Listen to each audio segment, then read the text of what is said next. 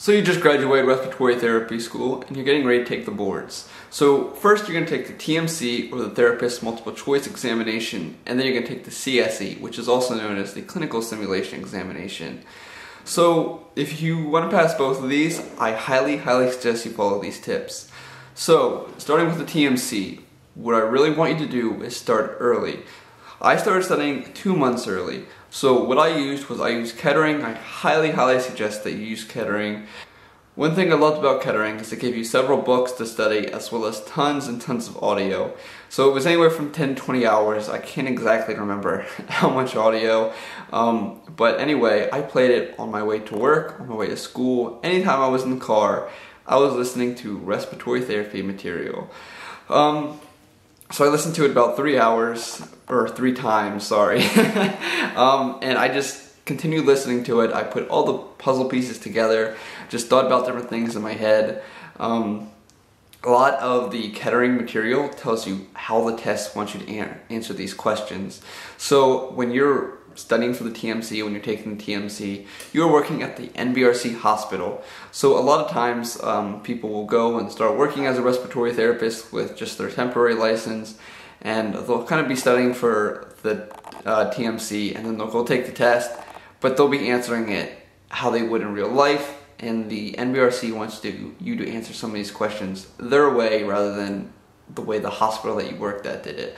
So that's one major downfall. Um, so something that we never did was we never got temp licenses. Our clinical instructor said, don't even bother with it. It's gonna mix you up. Just focus all your time on studying. So that's exactly what we did. So I, I'm gonna tell you not to get a temp license.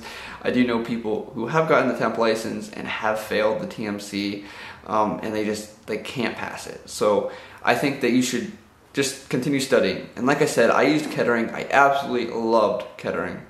So number one, start early. I started two months early. I think that gives you plenty of time. And then after I graduated, I studied for about two weeks and then I took my TMC. Number two, so I want you to also take as many practice tests as you can. So before I even started, I took um, the free practice exam on the NBRC website. And let me tell you, I bombed it. I failed completely. And that was okay. It kind of gave me a starting point. Uh, let me see where I was. So then, once I started studying for the TMC, studying all the material, I went ahead and kind of built off what I knew I got wrong. I built my weaknesses um, and I worked on my strengths a little bit, but not too much. I just wanted to get everything on a level playing field. That way I knew everything respiratory therapy, everything that I needed for the boards. So that's something that I highly suggest is before you even start studying, take a test, take a practice exam. So why I also started studying um, during school uh, for my finals as well as for my board exam. I did also take other exams or other practice boards on the weekends. Yes, that did suck because sitting down for one board examination was like three hours. I can't exactly remember the time frame. Um, if you know it off the top of your head, please leave in the comments. That way other people can see it. And that sucks. That's three, four hours of your weekend on just taking a test. That's not even actually like studying. So that's what I did is I take these tests um, because I wanted to pass on boards the first time because yes, Kettering is a lot of money, but the board exam is also a lot of money as well. So I think one exam is like $200 and you gotta take two of them. So right there is 400. I think Kettering was closer to 300. So that was almost $700 I took just to pass my boards. Now, my return on investment, I make much more than that a year as a respiratory therapist. So I was able to actually pay off all my school loans as well as uh, my payments for the boards if I really wanted to in one year. Um, I did go to school for free, so all my expenses was really just the board examination stuff. I could make another video talking about how I went to school for free. I talked about it a long, long time ago. If you've been following me for a while, you probably know. But once again, like I said, that's for a different video. So my two things so far. Start studying early and take many, many practice exams. So I recommend six. So there have also been studies that show that this is the number one thing that predicts how well a student is going to do on the test. So if you're in school now, this is something I suggest. Take practice tests or practice quizzes for your actual test um, in NICU, maybe it's on mechanical ventilation, whatever. Practice tests really, really do help. So some places that you can find practice tests um, include the NBRC website. You can take the free one or you can pay for the SAE. So I took both of these. Um, Respiratory Therapy Zone has a free one that you can use on their website. I highly recommend that as well. They have some great information overall about respiratory therapy. Um, now, another thing that I used was uh, the test on the Kettering website. So those were some fantastic test. They really helped me. So I'd say I took about six, and then once again I took that free test right before I took the uh, the board examination. Now, Respiratory Coach has also put a program out there for the TMC boot camp. Now, I haven't taken it. I know students who have taken it, and a lot of them love it. A lot of them have passed the board examination. However, some of them still have not completely passed, and that's okay. Um, every, there's a timing for everything. You'll get there. Just keep on studying, keep on working hard, and you'll become a respiratory therapist. And thirdly, I want to go ahead and tell you that the day of the examination, this is what I want you to do. So, the night before, I want you to get plenty of sleep. The day of, I want you to eat a nice, solid breakfast. Don't drink any coffee. Don't drink too much water. Make sure everything is perfect. Um, because you don't want to get in there and be in there for 30 minutes, 40 minutes, and be like, crap, I gotta pee. So I believe they do allow you to take a break in the middle, which is fantastic. However, that does eat up some of your time.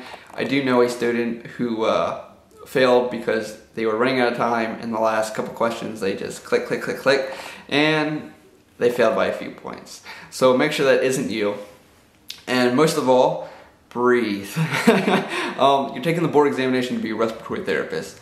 So before you get in the car, go through some breathing exercises, just in through the nose, out through the mouth, before you sit down, and just be confident. Tell yourself you got this. Um, I do have some other test tips that I do want to give a little bit of. So that's when you're actually taking the board exam. Go ahead and write down the ones that you don't know and just skip them. So I believe there's 160 questions, 140 of them are counted, and the extra 20 are just kind of, uh, they're studying it. So basically, so let's say the first three, I'm just like, crap, I don't know any of these. Don't spend a massive amount of time on these. Skip those, write down your little piece of paper, one, two, three. That way you know to come back to those and you can complete those. And then let's say four, five, six, you're like, oh, I know these, these are great. Um, so that sets up your mindset for I'm doing great, I'm doing awesome, let's kill this test. Rather than spending 15 minutes on one, two, and three and thinking to yourself, oh my goodness, this test is going to be so hard, I don't know if I can pass it. That just gets your mindset in the wrong space. You want to be in the right space. So all the questions that you don't know that are going to throw you off, give you a bad vibe, bad mindset, save them for the end. Um, this is also nice because once you get to the end, you can kind of look at the ones that you don't really know, and then you're to go ahead and you can kind of estimate your score a little bit off of those. Now, some of the ones that you thought you got right, you're obviously going to get some of those wrong. We all do. But this gives you a good estimate of, okay, I only have five that I didn't really know, or I have 20 that I didn't really know. Um, it's to really give you a good estimate. Another tip that I want to go ahead and tell you is that you're to have um, four choices in the multiple choice examination. So, two of these answers are to be totally wrong. Don't even cross them out right away.